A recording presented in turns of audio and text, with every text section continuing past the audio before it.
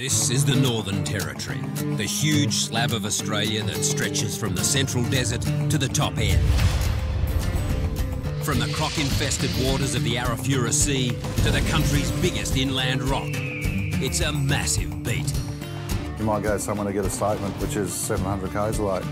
Downtown Darwin has the youngest population in the country. And the wildest nightlife. It's sometimes gets pretty scary. You do learn to know who's who in the zoo.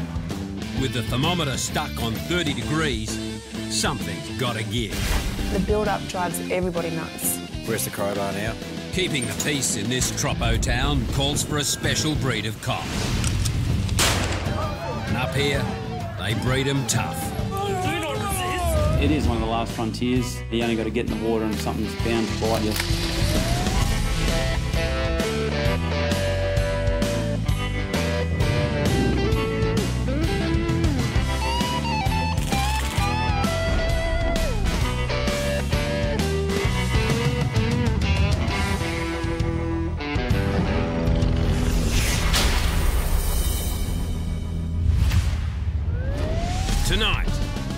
Couple of dodgy fishermen off the road, What else have you had? A couple of cones. a desperate effort to save a life, You need to talk to me, okay? How many tablets have you taken? and keeping a bikie gang at bay. Get over this side of the road. Where the hell angels, Wait. You wait.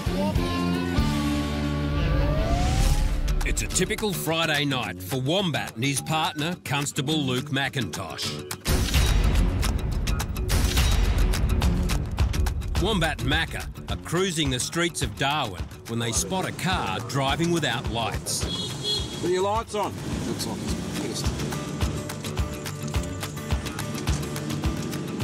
They set up a road trap, but the driver takes off. Where'd he go? He's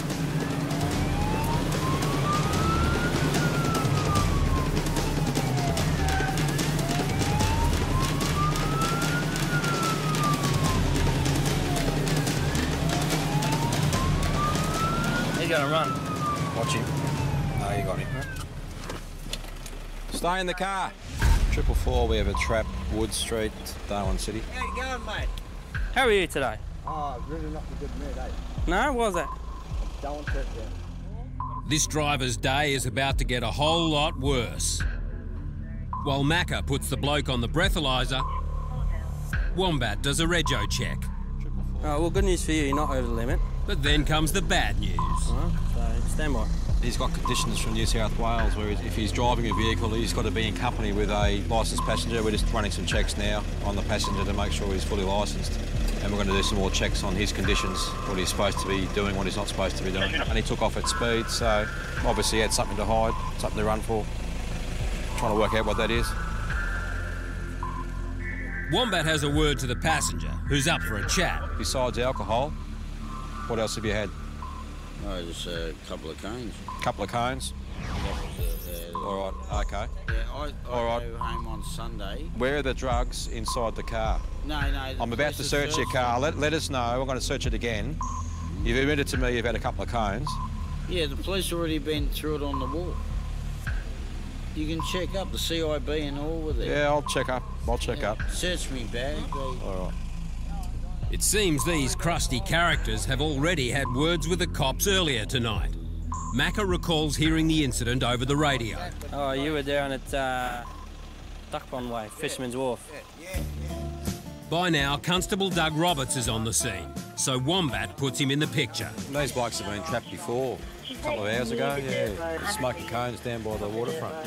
But the passenger is determined to get his point of view across, and he's not a happy fisherman. my bag was searched five minutes ago, right, on Fisherman's Wharf, and nothing was found and nothing on me. I'm just a visitor. I go home on Sunday, right afternoon, and now they want to search me bags and me again when I've done nothing wrong.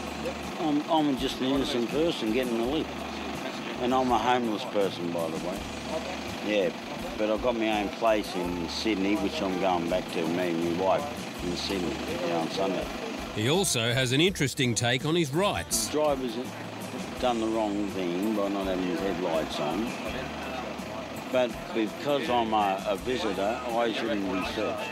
I think that's an interesting thing. This one piece will make 52 layers. Watch on mobile devices or the big screen. All for free. No subscription required. Download Veely now.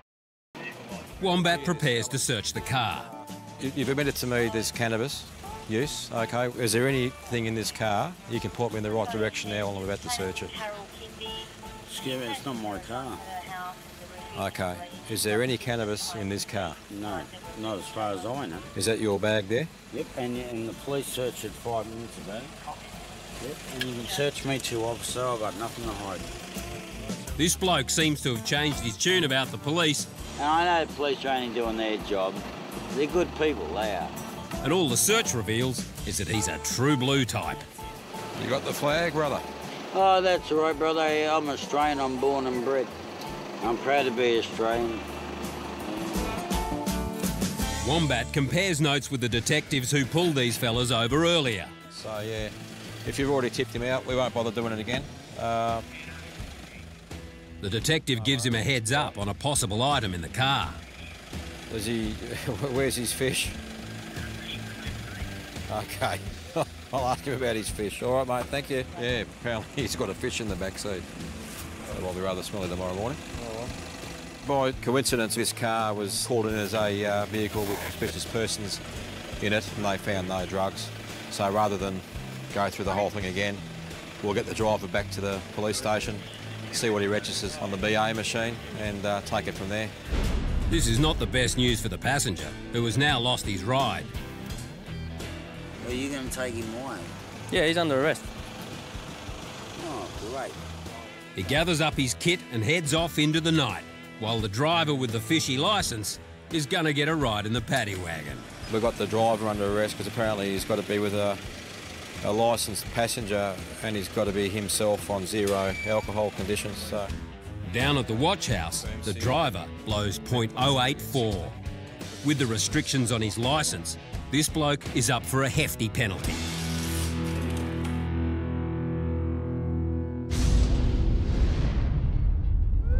Sergeant Amy Meredith is out on a usual night patrol. The young mother was recently widowed when her husband Brett died after taking a blow to the head, so she's been doing it tough. I've been to jobs where people have been punched. Brett was killed by one punch. Um, and it's hard to switch off your emotions, but you need to. And she seems to be coping well. With the kids being so young, working shift work now, I can tuck them into bed and, and come out and work the night shift and be there for them when they wake up in the morning and, and get them ready for school and, and take them to school and, and spend days off with them, um, more time with them than I did working a normal job. Police work in Darwin can be unpredictable, but there's one nightly routine that Amy never misses. Hello, Mum. What are you doing, darling? You going to bed? Yeah, I love you. doing my chores. Oh, well done. You be good, okay? Okay. We'll go on the motorbike tomorrow if you're good. Okay. Okay. Amy is heading along the Stuart Highway when she spots a woman staggering around on the side of the road. She pulls over to investigate. I'll be back.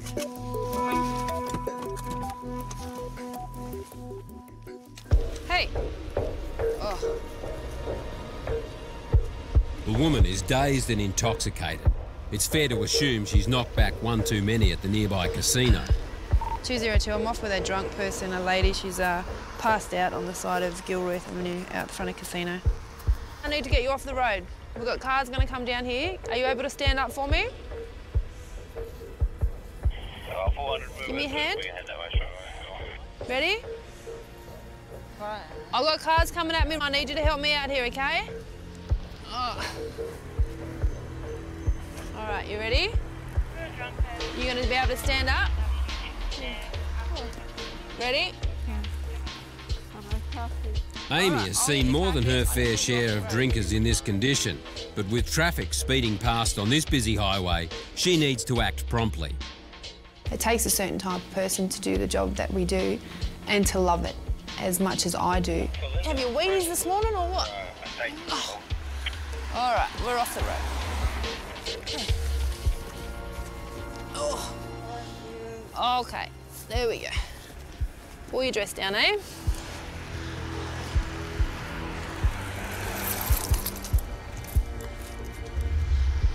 But as Amy is collecting the woman's keys, a piece of paper catches her eye.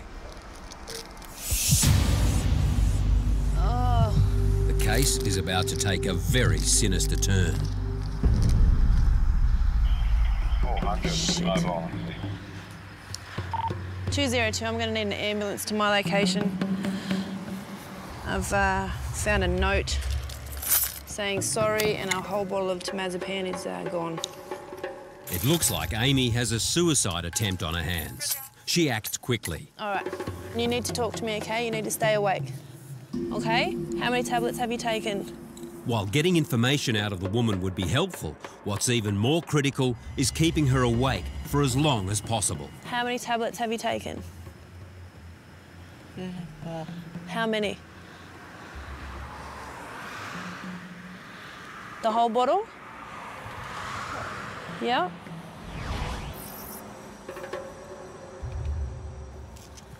Stay with me, okay? Stay awake.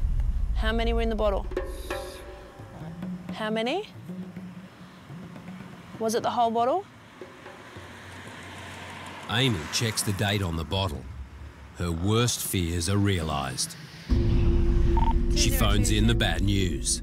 Yeah, Roger, I got a, uh, looks like a whole bottle of temazepam has been consumed. She only filled the script today. Coming up, Sean Hill has his hands full.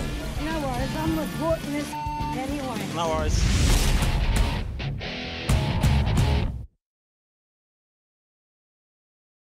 Amy has come across a woman lying by the side of the road. After dragging her to safety, she's made a shocking discovery. The woman has taken a large quantity of sleeping tablets. For Amy, the wait for an ambulance to arrive is an agonising one. But she's determined not to let this woman slip away. I need you to talk to me. All right, did you take all of those tablets? Yep, okay. For a moment, Amy seems to get through. Where do you live?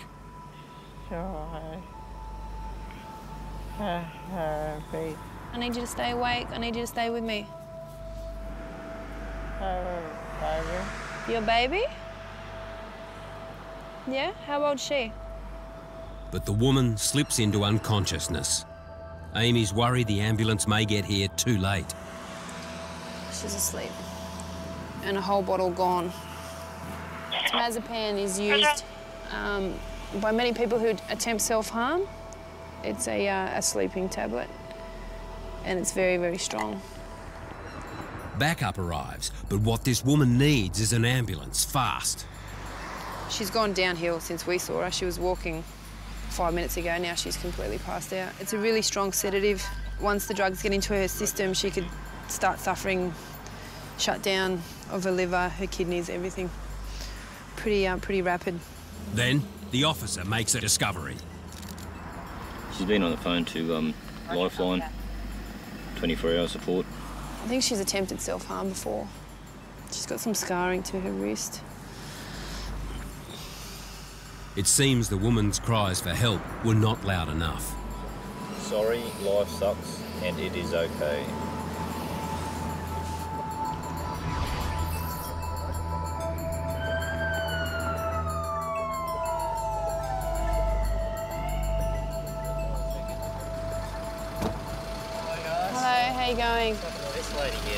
Lady was seen uh, stumbling down the hill.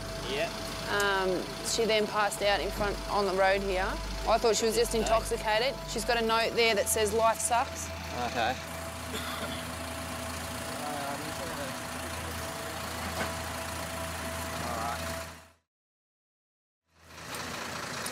Just gotta lift you up here very quickly. One, two, three. The ambos work swiftly, and the woman is soon on her way to hospital. Situations like this are harrowing, but Amy and her team have done all they can. Thanks to their quick thinking, this woman may get to see her baby girl again. As a mother, Amy can relate. She's pretty pretty messed up, so hopefully they um, can get her up to hospital and get her treated.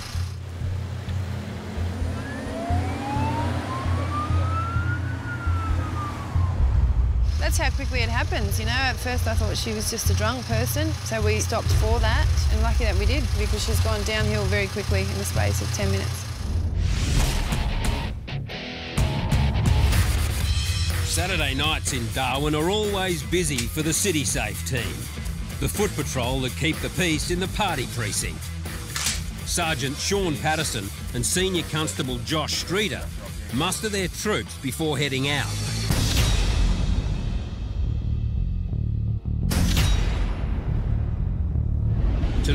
Lookout for some shady characters, members of an outlaw motorcycle gang.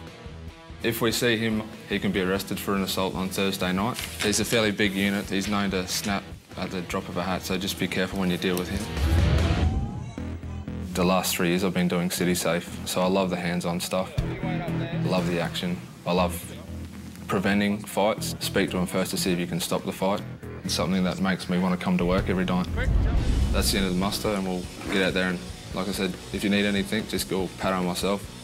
Don't be afraid to argue the toss with us. If you think something's not done right, just let us know and we'll discuss it and we can sort it out. Cool. Josh and the team are equipped for action, and it's quite a load to carry around in the Darwin heat. It's about 10 kilos around the waist. Issue boots are about a kilo each, and the hat keeps all the humidity in. It's, it gets pretty hot walking around. So I'm wearing three layers of clothing in what, 35 degree temperatures and humidity up around 90%. I walked out, I'm already started sweating. The team check out Monsoons, where the party's pumping.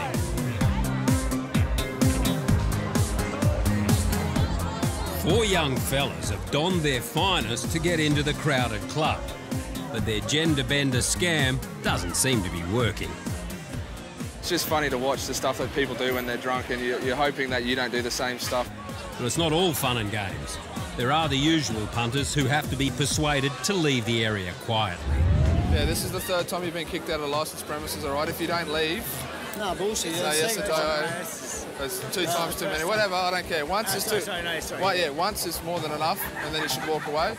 All right, if you come, try to get back into this club or Yeah, another no, I club, won't do it, I won't. you're going to go and watch us. Oh, yeah, cool. Okay, so just go home.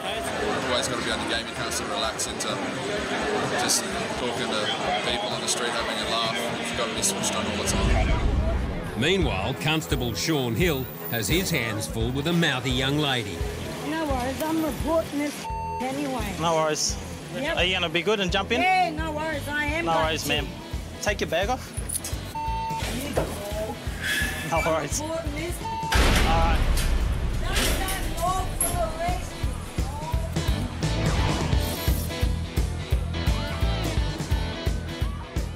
Been evicted from the nightclub. She's hanging out in the front, carrying on, swearing, waving her arms around. Asked her to leave several times. She just continued to yell abuse. To the Yeah. Didn't want to listen. It's going to spend a night in the cell, so one blanket, one sleep. It'll be good in the morning. The team do a walk through shenanigans, where a rowdy Irishman has been asked to leave. In the interest of keeping the peace, Josh decides to give him a fair go.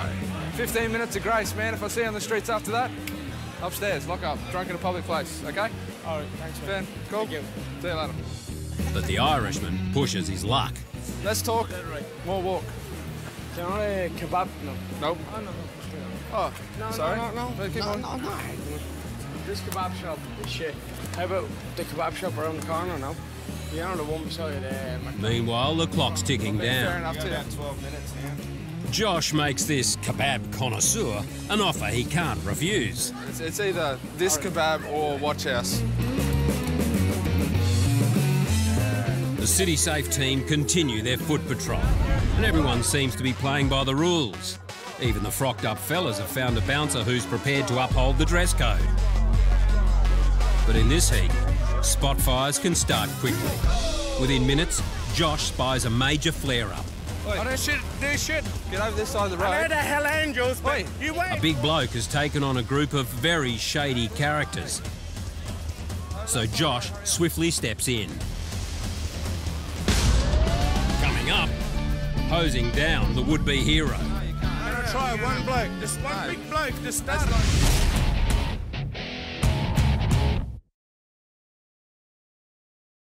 Get over this side of the road. Josh and the City Safe team have pulled aside a big bloke who's picked a fight in a nightclub with a gang of five. Just over a cigarette, bro. I don't even smoke smokes. And they're smoking in the room, and I just look, bro, I don't smoke, I'm just gonna walk away. Well, you're trying to do the club a favour, yeah? Yeah. Unfortunately, the five smokers have connections to the Hells Angels bikies. I was trying to smoke in the club, and all I did was walk in the door, and they said, why, why you ain't let us in smoking? Why do you chase them, mate? I didn't chase shit. He You're wanted cha- to fight no, me. you're chasing them. Leave it alone. If I'm gonna chase him, I would have been running down there already. Can't- well, no. It's not going to Hey. happen tonight. We know who they are. There was And about why- five. Listen, there was about five of those blokes coming after you. Can I try him or what? No, you can't. Can I try one bloke? Just one No. big bloke Just That's start not, it. you know that doesn't happen like that in the I'm- streets of Darwin. One bloke doesn't fight one bloke. No, how are you getting home? I'll walk No, home. no, you don't. No, I'll walking home. That taxi there, I'd prefer you to get into that, man. Because if you get, if you walk, you're going to meet up with them down the street, Yeah, and it's going to be on. The big bloke gets a police escort over to a taxi rank. Try and get a route, and them all want to fight me. Look, we're going to the watch house for the night. Just keep walking, eh? Just keep going. Then it's time to have a serious word to the bikies. Pato, we'll go tell these guys to go home because I think the guy in the red shirt, he's um, Hell's Angel associate. With Pato and a Mountie backing him up, Josh approaches the gang. Mate? Good mate. He's going to leave it tonight, eh? Yeah, we're all Yeah, good, boss, all right. man. We're just having a few drinks with some girls here, so we're going to off soon. We don't want any trouble. here. Nah, neither we. Just You carrying think on. I go there, They, carry they spat on a girl inside and Yeah. carried on like a you know, so all good. And it's all good for Josh, who has once again managed to keep the peace in the big kids' playground. But not for long. Two young blokes have been refused entry at the Hot Potato Club, and they're hopping mad. Are you going to leave now or what? We're not going to argue. two sides of the story We're now. not argue at the front of the club. I'm not going to argue with you because you don't know what's going on, Pato, on. I'll shoot you. Tonight you're not going to sort anything out by being, being aggressive. Because right now they look but like the they've done the right is- thing and you don't look like you've done the right No, thing. no, no, but the thing is, we weren't aggressive, mate. At the end of the day, there's one rule. You got to ask to leave. Leave, mate. It's not going to. There's no, no need to stand here and It argue. doesn't matter. They're saying It it's does matter. license. It does matter, mate. They're saying Time it's to go. license, mate. Time to go, brother. It's out. For the next few hours, the police presence keeps the party to a dull roar. Pretty soon, though, it's lockout time and things start to get messy again.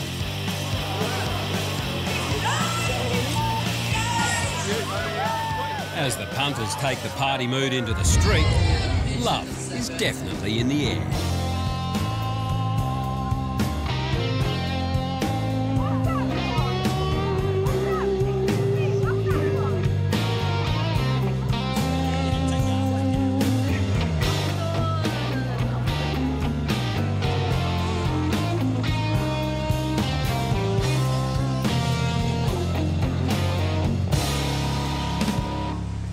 And that's the City Safe on Mitchell Street.